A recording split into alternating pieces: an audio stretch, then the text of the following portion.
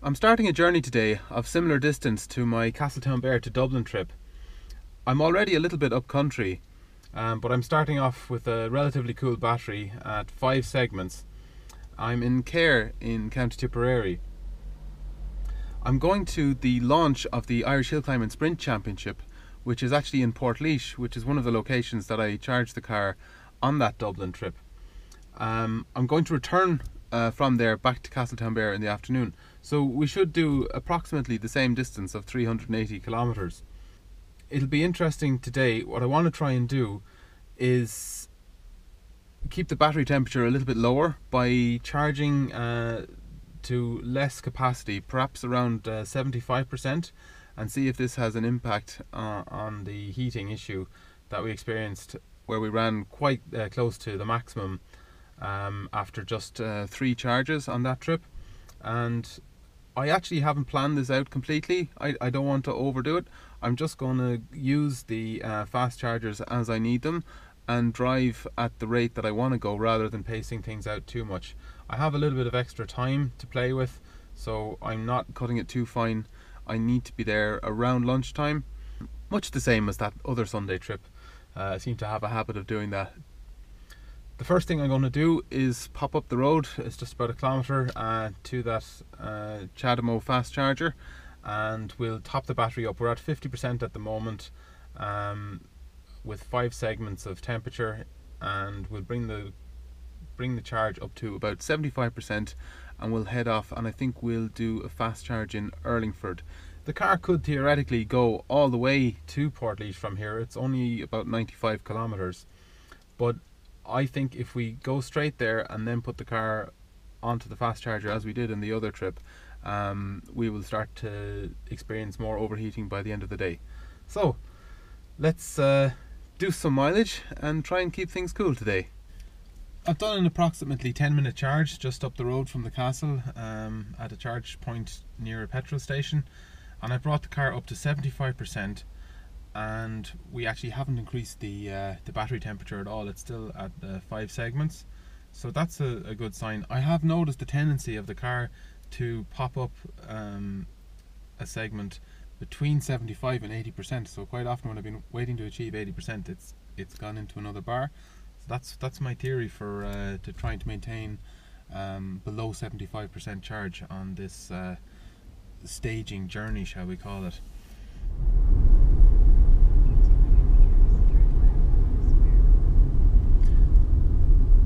could go all the way to uh, Portlaoise as I mentioned before but I'm actually going to try this short staging and stop at Urlingford which is actually only 50 kilometers away. I'll be rejoining the motorway just outside Cahir and Urlingford is actually a location where I leave the motorway again to go a more direct route to Portlaoise this also avoids a toll which is handy out on the motorway now and I'm maintaining 120 kilometers an hour, which is the speed limit here. I'm not making too many calculations about range or anything. I know I can comfortably make it to the next stop. I've gained one bar on the temperature of the battery, so we're up to six segments now, which is uh, something I observe normally uh, during driving, and I think at the this full rate of maintaining 120 kilometers an hour, um, it's expected that there'll be some uh, temperature generated by that.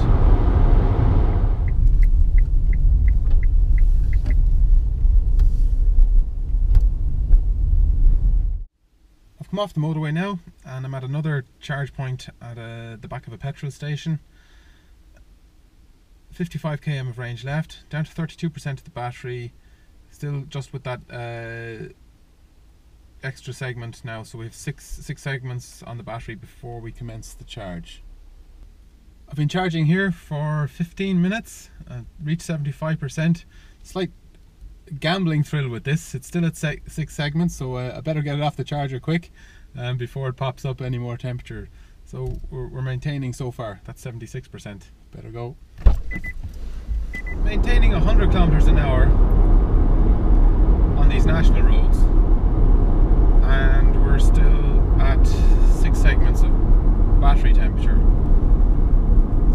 that seems to be working. I wonder would we have uh, gained one on the motorway. On my return journey, I'll be doing a more sustained period on the motorway, and that could uh, give us an indication uh, more to whether the temperature uh, when doing this uh, 75% charging is coming more from the driving rate at 120 kilometers an hour rather than 100 a decision had to be made about whether I would charge when I arrive at the forum today or just before I depart. Now, because there's going to be quite a few charges on the return journey, I think I'll do the charge when I arrive, especially since the temperature uh, has remained low on this part of the journey. It's kind of nice to be passing through these towns. When I bought Gina the Orange Kadett, the day I collected her, I collected her up this part of the country, and as she was a completely unproven classic car to me at the time, I decided to go back on the national roads instead of labouring it on the motorway. So if I needed to do any bits and pieces on it on the way, um, it would be easy to pull in. And I did actually. The uh, the wheel bearings, in fairness, the um, the the vendor must have actually done them just before selling, but they they needed a tighten uh, fairly early in the trip. So I was a long way from home and I was getting a fair humming noise from the back. But when I uh, took off the dust cap, um, I saw fresh grease. So um, it was a good sign, and all it needed was a little squeeze, and I was underway again. And the car did a, a great journey. And my goodness, I think we did a good 10,000 miles in that car before I, I did any uh, major work in it other than servicing. So it's nice to be going back through these towns again. I don't really mind this. It feels like travel again.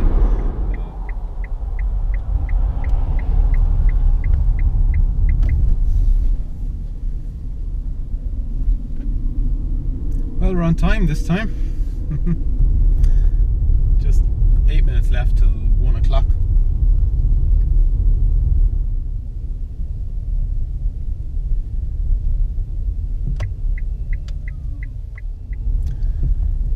It's like having your own reserved parking space.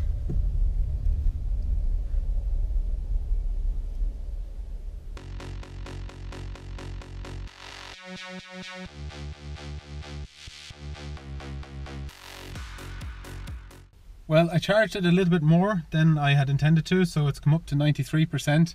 I got talking to somebody uh, and uh, it's like I, I nearly overcooked the chicken.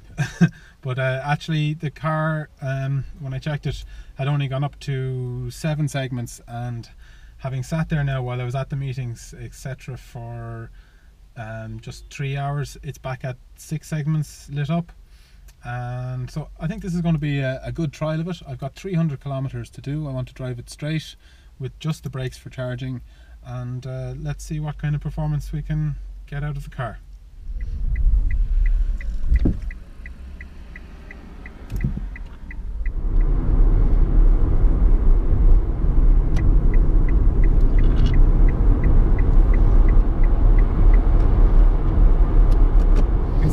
See there. It's done its big uh, detour down the Limerick route and it's come back parallel with us here.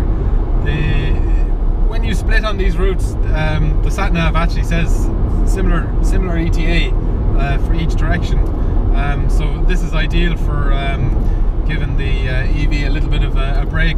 I use it in my old camper because it can't keep up to the um, the, the speed limit. So um, I like this little route and it gives you an option. There's a uh, stop here if uh, you're driving ICE and um, with the uh, EV there's in Urlingford um, a good uh, fast charger as well so I can keep my, uh, my old driving patterns. I've been driving now for just over 20 minutes and said this is a 100k uh, limited road and maintaining those six segments. Now, I kind of have a feeling that get onto the motorway, um, might gain a, a segment um, of temperature from the, the rate of discharge. Uh, we're only at 73% uh, battery now because of that extra bit that I got in at the fast charger in Portlaoise. So I think it would be uh, pointless of me uh, to go to that uh, Urlingford charger because we're, we're actually nearly there now. Um, I'll go out onto the, uh, the motorway and push on as far as Cashel, and I might get a, a bit of grub there because it is uh, after five o'clock in the evening now. And uh, use the fast charger there. I'm cruising on the motorway now, doing, doing 120. Theoretically, this is where we're at a transition point between the two different methods. Um, I could theoretically push on now and get as far as Cahir and that would give me sufficient charge to get to Macroom, which would be my last charge before home. But as the method proved the last time, uh, there was too much thermal buildup in the battery. So I'm going to do the short journey to Cashel with its hop up in Cahir to get me to Macroom because the Macroom leg is a little bit of a stretch that theory. It's about 95 kilometers, I think, from memory. And I think if I went from Cashel all the way to Macroom, I would be happy to pace it out and probably go slow and end up uh, building up too much heat in the charges.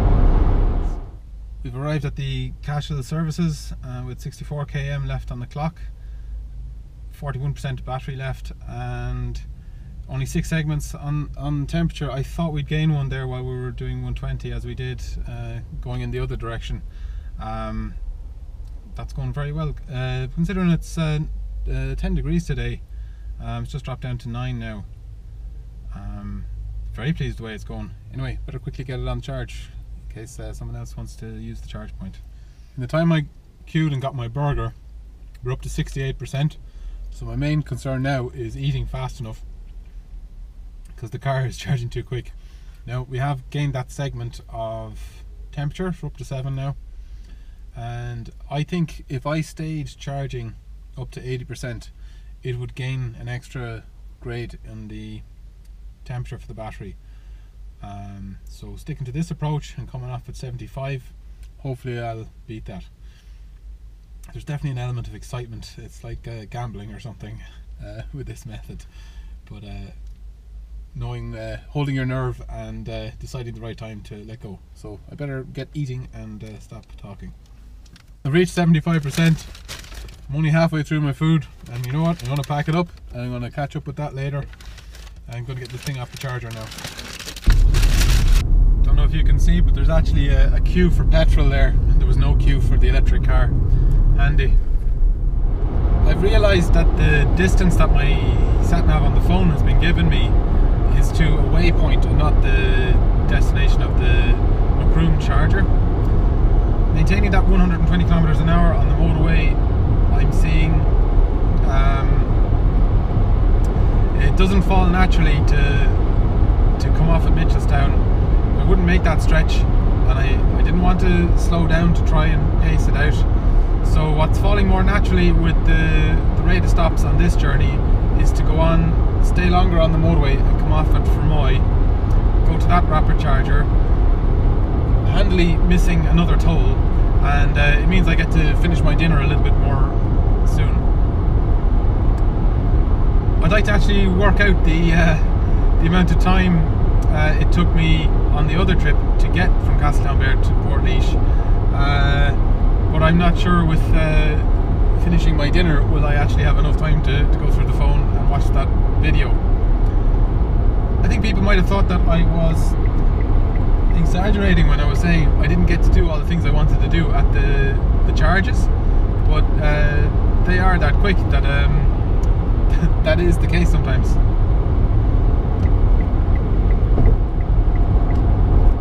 I've arrived at the Fermoy charge point, which is beside the supermarket. We had 60k to spare, and we are on seven segments. Let's see what happens uh, during the charge. But even if we go a segment now and then a segment later on the other charge, we'll still be one below the red, which is grand, I think. Um, it's 20 to 7 now.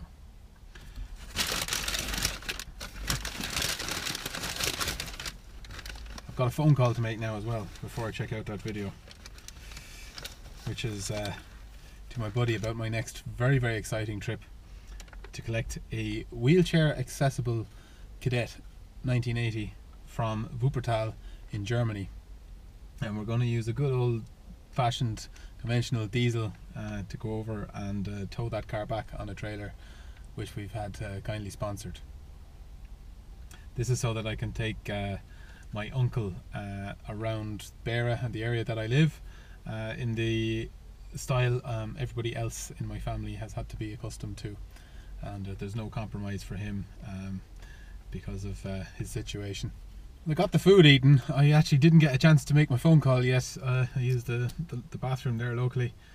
Because it took on a segment there at 40%, um, we're on our eighth segment. I've decided I'm going to finish this charge at 65%, which is now. So kind of playing battery roulette here, and, and that still leaves me uh, two available before I get near the red.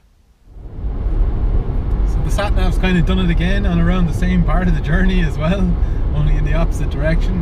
Um, this time I was very clear. I set um, my cross country route as an alternative, and I think because there was a couple of seconds worth of traffic on that route, it automatically diverted me. So maybe I have to look, look at the settings so that that doesn't happen again. But uh, as a result, I haven't been doing that uh, 80 and 100k journey cross country, and I've been doing 120k on a longer uh, route around on the motorway and dual carriageways. That's meant I've been burning energy a bit. Um, I would actually, again, I would have enough to get to um, to Macroom, but I would only have 30 kilometers spare. That would mean quite a strong charge for the car at that point, and that charger, if there's anything wrong with that, is a long way from any others. So I'm to go to the um, the charge point on the south link and just do a very short uh, top up. I need to get something from the boot. Uh, I left my diary in there, and I need to check out some details for somebody that I need to make a phone call for. So I have to go to the boot anyway. Um, so we'll take a quick boost here. That'll give us contingency if there's anything wrong with the Macroom charger. Yeah, arrive in Rosslare at 3.30 on Friday. In the afternoon? Yeah. Oh, you very bad. Very bad. Okay, look, don't panic yet. I'll um, I, I think there might be possibility we could get there for Wednesday night at the ferry and back in on Thursday. Okay. Yeah. All right. I'll okay. um, I'll let you know tomorrow. Okay. Yeah. Okay. Thanks, man. Talk to you then.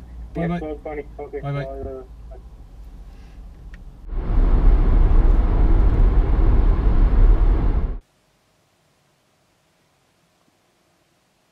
We're just below overheating this battery, so we're running this uh, Leaf uh, right to the max of its capabilities today. So I've had a chance to uh, review the, the video from the last time, and it seems that we did um, Castletownbere to Port and it took a little over uh, five hours to do that. Um, today we've got um, about 100 kilometers uh, left to do, and we're only three hours and 20 minutes into the trip. I'm not actually going directly home, I'm going to another event on the way. So, but it is an equivalent distance, um, so it'll be a fair measure. In fact, I think we'll actually be a little over the overall distance by the end of the day. The temperature has reached the max and we're at 68%. I'm only going to brave 70% before disconnecting. I'll have enough range to get me home.